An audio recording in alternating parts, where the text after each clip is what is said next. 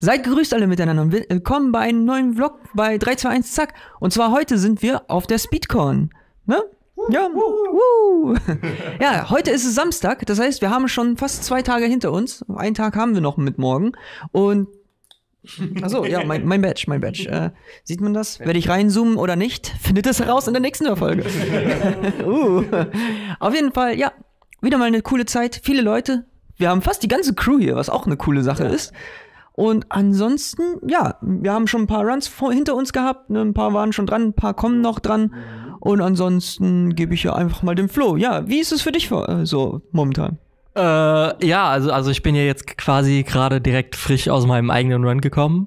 Also aus dem Fire Emblem Run. Hier wird wahrscheinlich jetzt irgendein Ausschnitt oder so eingespielt. Wer weiß. So, as I was saying earlier already, uh, he's now deploying a huge shield. Uh, I'm disappointed they did apparently not have enough budget to make the enemies real. No, they're just generic enemies. Uh, I am just complaining about this game at this point. Uh, and I'm hungry. Same. Man weiß es nicht. äh, ja, der, der Run lief zwar jetzt an sich nicht so gut, aber war, war doch gut. Also ich meine, ich weiß nicht, wie man wie man es im Publikum aufgenommen hat, aber mir hat trotzdem mehr, mehr da, Hilfe, Worte. mir hat es trotzdem Spaß gemacht. Und äh, ja, ich hatte jetzt auch schon zwei Hosting-Shifts hinter mir. Und ja, ist doch, ist doch schön. Das Schöne ist, hier ist immer alles so schön gemütlich, äh, rustikal, klein. Das hat was, finde ich. Okay, rustikal ist vielleicht nicht so das richtige Wort, aber uh, you get what I mean. Also ihr zumindest. Ob die anderen das auch wissen, who knows. Ja, man muss halt sagen, leider ist mit der Zeit die Speedcon ein bisschen kleiner geworden. Also dadurch, dass auch halt Corona passiert ist, das ist halt ein bisschen schade. Andererseits erinnert das einen an echt gute Zeiten von damals, wo die Events nur sehr klein waren. Was es auch wieder gemütlicher macht, dadurch, dass man halt auch wieder mehr engere Freunde auch trifft, was auch ganz cool ist. Ja, ansonsten, Seth, wie findest du es bisher? Ja, hab das eigentlich schon ganz gut zusammengefasst. Ähm, äh, Speedcon ist ähm, ja ein bisschen stagniert von der Größe in den letzten Jahren und entsprechend ist es auch heute wieder der Fall. Ähm, es ist ganz cool, immer die, dass man hinkommt und ungefähr schon weiß, wie man treffen kann. Also man, man trifft dieselben Leute, was ja eigentlich auch so coole Freundschaften ähm, bestärken kann. Und ähm, ich, ich mag die Location, also das gesamte, der Komplex, wo das stattfindet, das mag ich total. Das Freiland, das ist so ein, so ein schöner Schuppen äh, für, für Kreativität und für Unternehmen und für Gesellschaft. Äh, das finde ich ziemlich nice. Ähm, ja, und äh, vielleicht kommen ja mal irgendwann wieder mehr. Vielleicht kommt ihr ja eines Tages auch auf Speedcon oder vielleicht bewirbt, bewerbt ihr euch mit euren Runs eines Tages. Ähm, wer weiß. Und ähm, ja, nö. Aber ich habe auch eine Hosting-Shift hatte ich bisher. Mein Run habe ich morgen Abend. Und ja, sonst chill ich hier so rum und, und sitze ein bisschen. Ich finde es ein bisschen kalt. Ich habe immer so eine Decke drüber, wie man vielleicht doch gesehen hatte bei, bei Heinkis Run im Hintergrund. Teleporter. Okay, there it is. Ähm, äh, aber nö, ansonsten nö. Es ist sehr, sehr gemütlich angenehm ja, familiär, sag man mal. Äh, du kannst da so einen schönen, äh, gerade eben noch, so kannst du so schön Uncle Sam machen. We want you. ähm, ja, wir, hatten ja jetzt alle schon unsere Runs. Ähm, ja, also der Einzige, der. Ja, ne, ja, ne, ja, gut. Ja, ihr hattet ja noch keine Runs. Ähm, gut, du warst jetzt der Einzige, der noch nicht vor oder hinter der Kamera war, quasi. Mich meinst du? Ja. Äh, okay. So halb. Ich war bei einem äh, Commentary von äh, Heinkis Run gestern noch dabei, bei Risk of Rain. Äh, genau. Yeah, I mean, the, the ult is pretty, pretty strong. Yeah. Like, the longer I load it, the more damage Ganondorf does, I think. And it goes, like, across the entire map, which is also ridiculous. Would it also attack multiple enemies yes. at the same time? It, it, it, attack, it attacks anything in the way, so that's, like pretty ridiculous at this point. Yeah. Lore accurate Ganondorf. Ansonsten es ist tatsächlich so, wie ihr gesagt habt, das ist so eine comfy Atmosphäre hier und man kennt es mittlerweile schon. Ne? Äh, ich war das erste Mal, glaube ich, 2018 war ich hier und damals so war noch alles so so komplett neu, das Freiland und alles. Wir hatten auch eine andere Venue. Ähm, jetzt haben wir schon seit, ich glaube, zum dritten Mal oder zum zweiten Mal das, zum dritten Mal, glaube ich, schon das Spartak, oder? Jo, dritte. Dritte Mal, genau. Wir waren hier, äh, lass mich überlegen, wir waren hier 2019 waren wir hier, dann ist 20 ausgefallen, 21 war das Meetup, weil da war der Main Organizer, da war F. Paul krank. Äh, 22, 22? Was war 22? 23 waren wir hier. 22, Nee, 22 überlege 22 überlege ich gerade. da waren wir auch hier. Da waren Dann wir ist 20 und 21 ausgefallen Genau, wegen Covid. genau. Dann ist Nee. 22 ausgefallen wegen Meet, dann wurde es Meetup und dann waren wir 23 hier und jetzt sind wir 24. Genau, das So war's. muss- so muss so, es sein. so rum, ja, genau. Jetzt, jetzt hier, da, daraus wird ein Schuh, ja. Okay. also zum dritten Mal mittlerweile. Und äh, bei mir ist es halt so ein Gefühl, dass jetzt mittlerweile die Zeit richtig schnell vergeht. Einfach so, weil, So schnell. ja, puff. das hat mich so ein bisschen aus dem Konzept gebracht.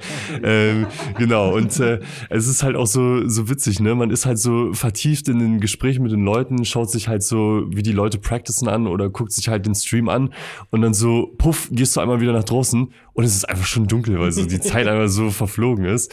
Aber das ist ganz witzig, das ist cool. Und ähm, ja, so die Atmosphäre ist beigeblieben. Auch wenn das Event natürlich so ein bisschen kleiner wird, so wie wir schon gesagt haben, ne? Ähm, den Vibe halt versprüht es immer noch halt so ein bisschen. Ja, man, man merkt halt auch dadurch, dass, äh, dass das Event halt jetzt kleiner wird. Oh, Entschuldigung. Das, das ist jetzt sehr gut gekommen. Die XXL-Gericht. Die XXL-Schnitzel. äh, ja, also wir, wir haben ja jetzt nur noch äh, drei Tage. Freitag, Samstag, Sonntag. Früher waren es, glaube ich, Mittwoch bis Sonntag inklusive Nachtschicht. Äh, Ist natürlich schon, diesmal ohne Nachtschicht, ist natürlich schon deutlich weniger. Aber äh, wir haben ja unter anderem auch das Mars Housing, wo wir auch noch mal so ein bisschen cozy Atmosphäre haben. Das gibt es eigentlich auch kaum mehr bei irgendwelchen Speedrunning-Events. Früher bei ESA gab's das. Früher, also ich war bei ESA 2016, die Cursed ESA war meine erste. Da war ich in Mars Housing, da in dieser Sporthalle, die abgedunkelt war, in der es gestunken hat und in der, ich sag mal, Dinge passiert sind, die man, über die man vor 22 Uhr nicht reden sollte im äh, äh, Fernsehen.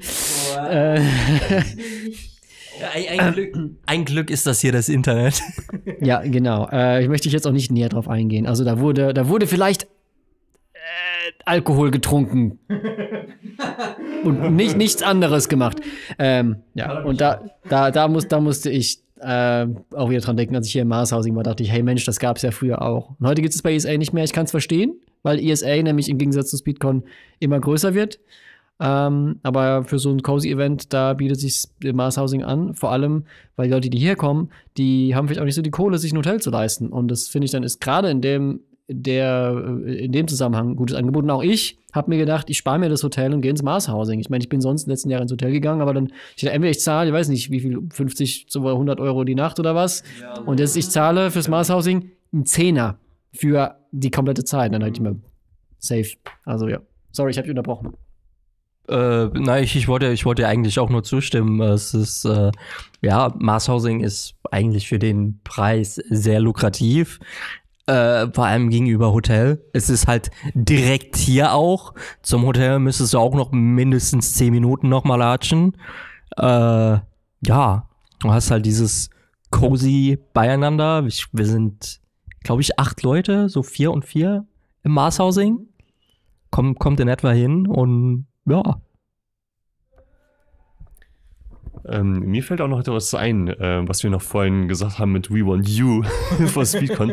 ähm, und zwar, äh, mir ist was eingefallen, dass wir, diesmal ist auch wieder ein äh, Kumpel von mir, Zombie Knight, ist mitgekommen, der eigentlich gar kein Speedrunner ist. Und wenn man auf dieses Event geht, dann ähm, heißt es also gar nicht, dass ihr unbedingt einen Run submitten müsst oder irgendwie Speedrunner sein müsst, sondern ihr könnt auch einfach hier hinkommen, um zu chillen, könnt Only abspielen oder andere Games, die halt gezeigt werden und einfach so ein bisschen mit den Leuten connecten. Also das ist auch eine coole Sache dafür, gerade bei diesen kleinen Events.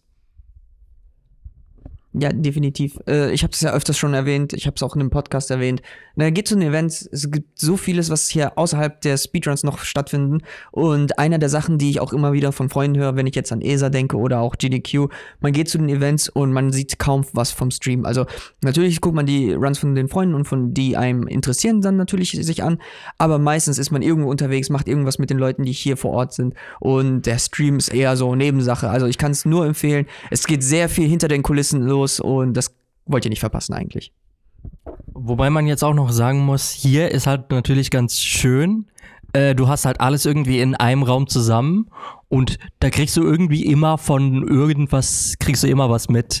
Äh, du gehst, keine Ahnung, fünf, fünf Meter weiter und da ist schon wieder irgendwas anderes. Äh, also ja, da kommen wir halt wieder auf die Größe zurück. Äh, du hast, da, da ist irgendwas und hier ist direkt wieder irgendwas anderes. Und ja, ist schön, finde ich. Und ja, äh, jetzt weiß ich irgendwie nicht mehr, wie ich weitermachen soll.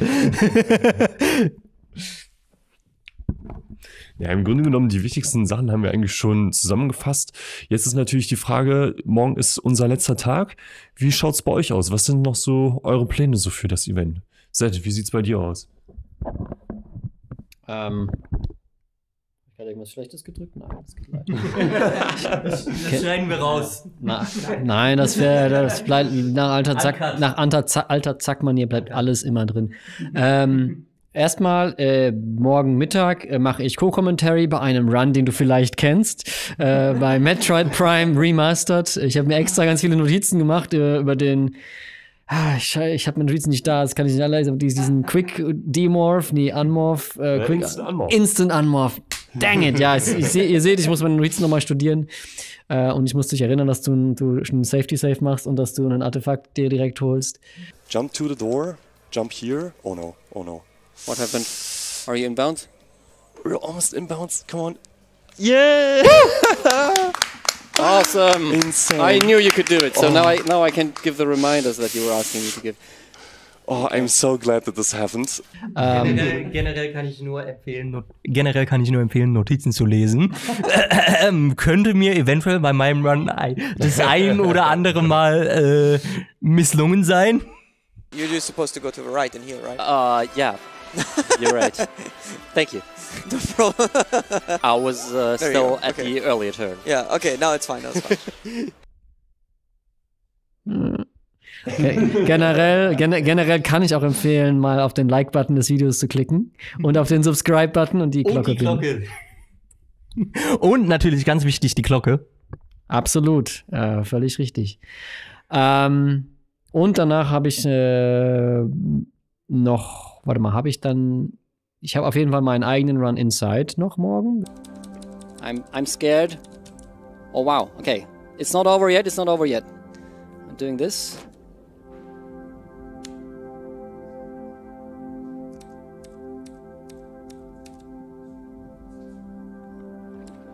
Yes, nice. Okay, we got it.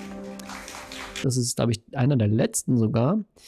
Und davor, wenn es einer der letzten Runs ist, dann habe ich davor noch meine zweite Hosting-Shift. Also das heißt, morgen bin ich wahrscheinlich den ganzen Tag auf. müsstest die letzte haben. Nein, stimmt, ich habe, genau, ja, jetzt hast du, ja, natürlich. Ich, ich hab, noch ungefähr mein Schedule. Flo, Flo, Flo hat den, den Schedule der, der Host äh, für die Host gemacht, hat das Hosting-Management dieses Jahr gemacht hier beim, beim Event, oder? Ja. Also richtig so Teil vom Team sogar.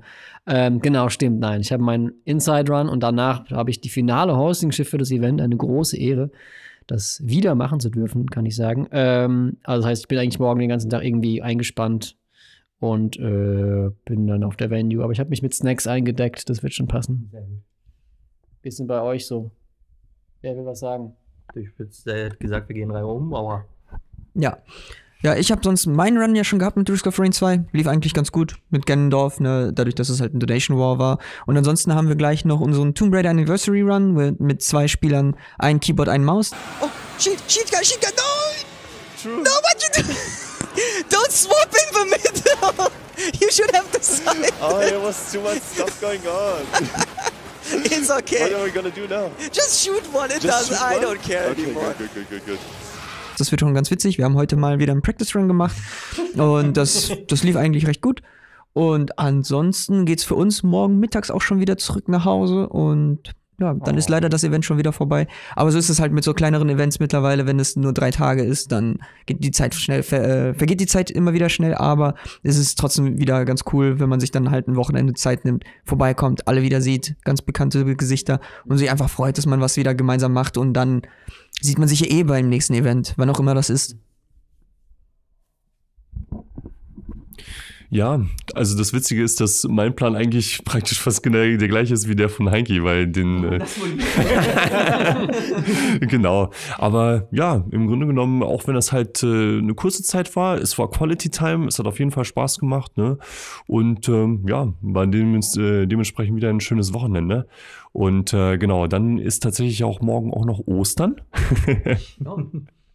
äh, genau. Und äh, naja, Flo, wie sieht's noch bei dir aus? Ähm, ja, also Ostern fällt irgendwie, fällt irgendwie dieses Jahr mit, Speedcon einher. Äh, irgendwie merke merk ich nicht so viel von dem Ostern-Vibe. Äh, okay, aber um nochmal auf Speedcon zurückzukommen, äh, ja, also äh, ich werde morgen wahrscheinlich auch äh, bei, einigen von euren Runs, äh, hat ja jeder jetzt noch einen Run, oder? Oder du hast keinen mehr morgen, oder, Henki? Nee, morgen nicht mehr. Noch. Okay. Äh, ja, ich, ich habe morgen auch nochmal einen Run. Also wir drei haben alle dann nochmal einen Run. Was für einen Run hast du denn morgen noch? Hm. Oh, also wenn du schon so fragst, ich habe morgen einen Scout Sword Randomizer Co-op Run zusammen mit Lepelog, äh, dem Main Developer von dem Randomizer. Und äh, ja, das wird sehr spaßig. Ich glaube, Co-op generell, äh, ich glaube, da können wir gut gegeneinander äh, erklären auch und generell einfach Leute ein bisschen den Vibe rüberbringen. Wir sind da alle sehr locker und ja. I mean, should I do LMF first or should I do all the bomb block checks first? Uh, do bomb block, Jess. I'll do LMF. Yeah, that's good because I know there's uh, there was a chest here that was pinging. Ich hoffe, das wird äh, toll. Äh, ja. Ich meine, Koop ist, glaube ich, generell auch so ein Format, das man eher so nicht, nicht so kennt. Und es wird, glaube ich, ganz schön. Ich meine, jeder, jeder kennt Races quasi, aber Koop wird generell stark übersehen. Und ja. Das ist doch ein schönes Schlusswort. Okay, gut, dann, gut, dann äh, über, übernehme ich. Wenn, wenn, wenn du das schon so sagst, Seth, dann äh, mache ich ja auch gleich die Abmoderation. Äh, ja, dann möchte ich mich bei euch bedanken fürs Zuschauen. Äh, kennt, wie, wie Seth es gerade eben schon erwähnt habt, like das Video. Äh, abonnieren. Äh, Wie, wie macht man abonnieren? Ab Knopf drücken und äh, Glocke läuten. Zweimal gesagt im Video. Also Ja, ist Ja, zweimal. Zweimal nur einmal auf die Glocke drücken. Aber nur einmal auf die Glocke drücken, nicht zweimal. Sehr gut. Ja, und äh, damit äh, verabschieden wir uns hier äh, auch hiermit von, äh, von der Speedcon. Äh, wir, hier werden wir jetzt wahrscheinlich noch ein bisschen Impressionen oder sowas einblenden. Irgendwas kommt schon. Keine Ahnung, ir irgendwas machen wir das schon. Aber whatever. Äh, ja, vielen Dank fürs Zuschauen und wir sehen euch beim nächsten Mal. Bleibt zackig. Ciao.